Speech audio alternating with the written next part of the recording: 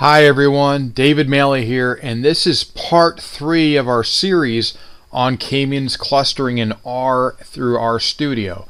So what we're doing here in part three is we're actually going to graph and map this data. So we in part one we determined what the primary or the optimal clustering should be, and it was four for this data set. This data set, by the way, that we're using is the TKD data set for the month of July, and it's right here.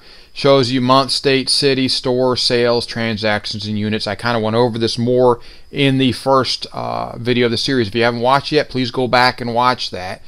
Um, so that's the data set that we're using. And in here, what we're going to do is we're going to actually graph it and you're going to come out with a map like this, which is really cool because it breaks down your clusters and then it adds another variable called sales.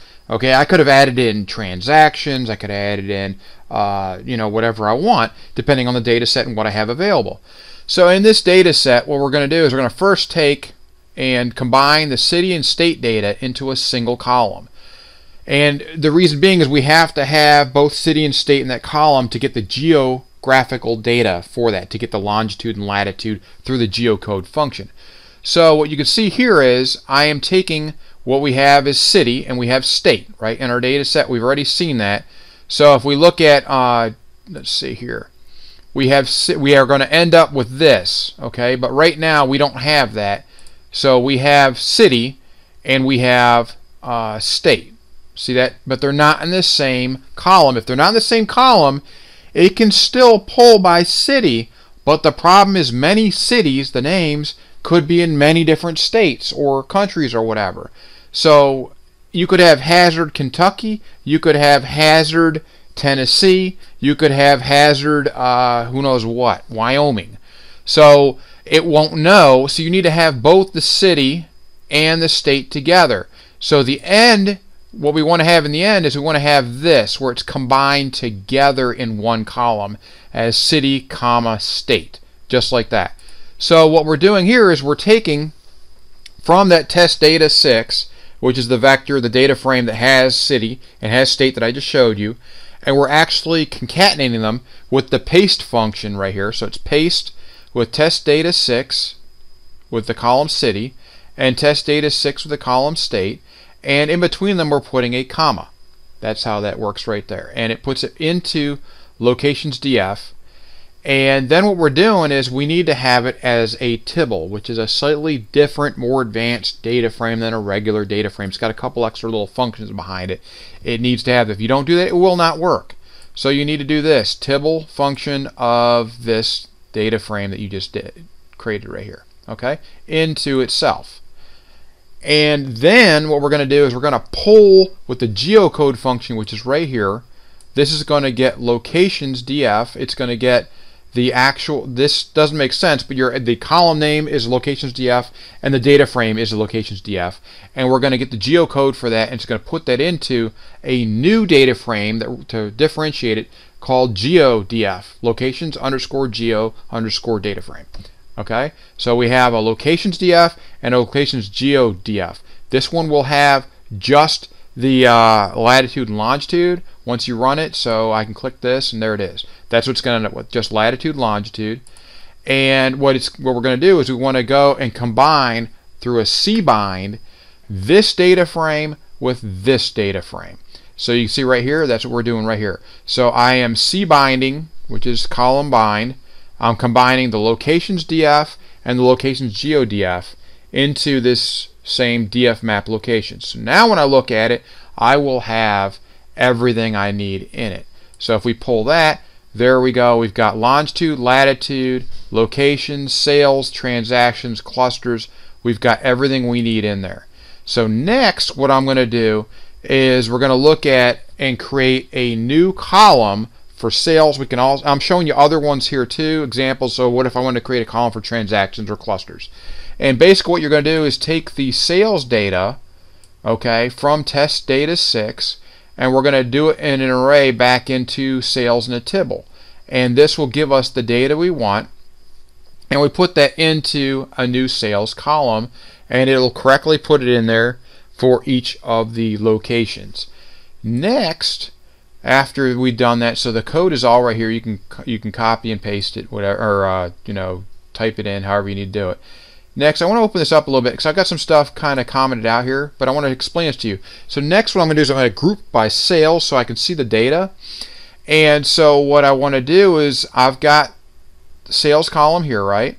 And I've got sales here. What I'm doing is a if else, and it can be a nested if else, so I could have many different breakouts. I could break it out by size 1, 2, 3, 4, 8, whatever, all the way up to however many I want. Now keep in mind as you go up, the sales doubles as you can or the size doubles. So you can see here the size differentiations and you you once you get to a certain point it's going to be such these dots or plots will be so big they're going to hide all the other plots. So what I've done here is I just simplified it and I just have one or two. Is it greater than or less than 50,000 the sales? And you can look at the data and see that the sales go between uh, 0 and 98,000 or something like that. So they all fit in here. Um, I could have had more, and I've shown you that here. I've built that in here. If you want to look at, um, you know, how to make a nested if-else to use multiple uh, gyrations of this.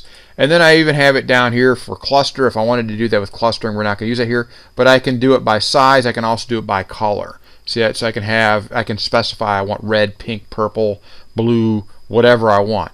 That's what's there. Next, what I'm going to do is I'm going to take this and I want to look at this data a little bit better. And if I look at it, sometimes when I run the geocode, it'll miss, mess up on a row or two or six. And what I need to do is go and take that data and write it out. So here's how to write it. And we're using the write XLSX function. Okay, and I write it out even if I haven't, I don't, what's great about this function is I don't even have to have created this Excel file as a backup. So I'm using 4 here up here, region 4, but I've changed it to a 5 just to differentiate it. And uh, this writes it to it. And what I can do is actually I can go in there and then I have to look up on the internet, um, you know, hazard, Texas, longitude. Boom, and it'll give me the longitude and latitude and enter them in manually uh, for anything that gets missed. Usually it doesn't, but sometimes it does. If I do this on my home computer, it doesn't miss them or it misses one. On my uh, work computer, somehow it misses like five or six of them. So you want to check your data to, look for the missing uh, pieces and fill them in. Um, it's not always perfect and it won't always fill them all in. It's usually pretty good though. So then I bring the data back if I had to change anything right here. I bring it back and I put it in this test data 7. Okay. And then what I'm going to do is I take the size 1, okay, which is up here, and out of that data frame I'm picking that column and I'm putting it into sales amount. Makes it a little easier to work with. Okay, and then below that, let's hit enter to differentiate this here with a little space here. I'm first going to pull the map. This is a map of that region. So that area that we're looking at for this region 4 is the Kentucky and surrounding areas. So I could have picked a different zoom angle, but as you see, these points go all the way out to the edges almost. So that's a pretty good uh, uh, choice for zoom level. I could, if I pick 7, it's going to zoom it in a little bit more, and I might lose this dot over here. So that's what the zoom function will do, and I could zoom it out to a 4 and then really look in on it, but I'll have a little area and I won't be able to see the little dots for the smaller uh, sales amounts. So Next, what we're doing, let me open this up for you a little bit better. Let's see if we can see this better. There we go. That shows you the whole code for the ggmap uh, function here. So once I've pulled the map, now I'm pulling ggmap, which we've, lo we've loaded in as one of our libraries. If you haven't, please load that in. And ggplot has geom_point. So if you don't have ggplot, bring that one in also in your library. And what we're going to do is this guy right here, runs the aesthetics for longitude and latitude based off of what we've done already, what we've pre-built, off of the df.map locations data frame, which is right here, data equals dfmap.locations. These don't have to necessarily be in this order. I just find it easier to work with in this order, but you could have this data equals dfmap locations at the beginning and just before the x and y latitude if you want to, or before color. Doesn't matter. And then what we got is the color breakout as factor is clusters, so that's what it'll be here. It looks ugly right now because I had to shrink this to show you the uh, the uh, actual code we're using here. And then we got size equals sales amount. I could also, instead of using sales amount, just put the df.map underscore locations uh, dollar sign size 1 and put that in here. That would work the exact same way. And then we've got our title. So the title for this uh, map is going to be Kentucky Region 4 K-means clustering. So let's bring that back. Once I've shown you that, you know how the code works there. I'm going to bring this back and make it look nice and pretty again. And let's see. Do, do, do, do, do. Give it a few seconds here and it'll snap back and show it correctly. It does this once you go and shrink it and it takes it a few seconds to come back. Um, hopefully it comes back here shortly.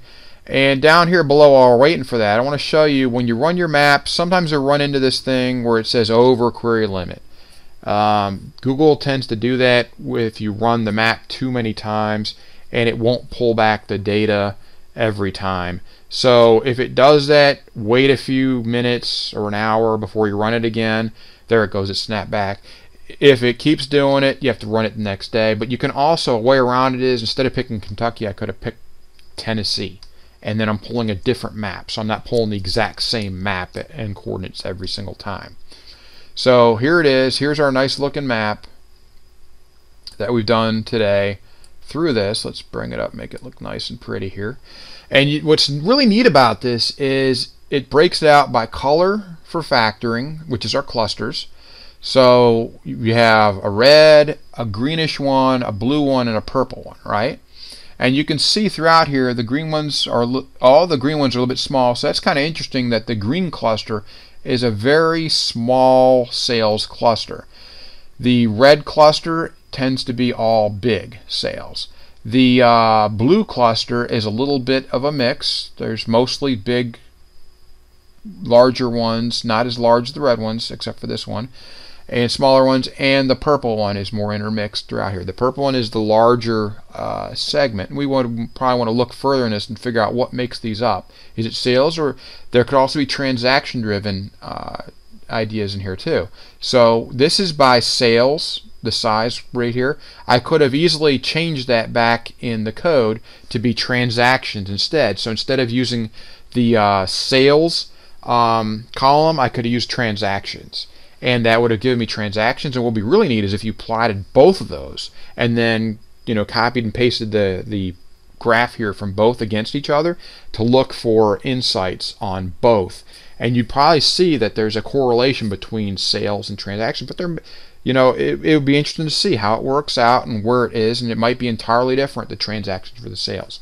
You might find that there's some locations that have high sales and high transactions, and some that have high sales with low transactions, which means they're selling higher uh, year-term memberships maybe, and the other one's selling monthlies maybe, or maybe one is selling a lot of uh, add-ons or clothes like uh, uh, taekwondo gis, um, taekwondo shirts maybe uh, maybe they're selling a lot of kids classes at certain locations and the others are selling adult classes. Adult classes cost more than kids classes. Usually adults go throughout the week.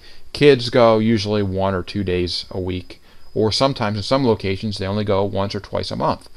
So that is how you look into and do a complete and thorough k-means analysis. If you haven't watched parts one or two please go and watch those because you need to know how to determine the optimal uh, uh, cluster size. If you don't do that, then you're just picking, you know, five, eight, three, whatever, and it may not be the optimal uh, cluster size or, clustering or grouping or uh, segmentation of your customers or your data.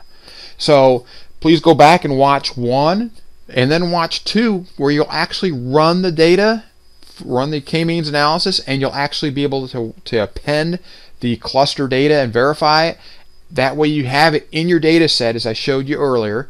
And then you can take that cluster data as we've done here and do some pretty cool stuff with it. You can graph it, you can plot it, you can map it. And this is the more advanced one where you map it and actually see your clusters on a map uh, zoomed into the right level so you can actually see and start pulling some insights from your data which is just really neat and cool to do, I think. And uh, this is very valuable in data science and data analysis to do this in projects, especially at the beginning part of a project where you want to go and segment your data and figure out what you want to do with it what's out there what is what are the patterns looking like? This could be a complete data science project all by itself doing customer segmentation or product segmentation or uh, you know state sales uh, it could be anything um, but this is very valuable, and if you talk to data scientists and mention k-means clustering, and you've gone through this a couple times with your data sets, you know what you're doing, they're going to respect you and understand what you're talking about and be able to have a great conversation with you.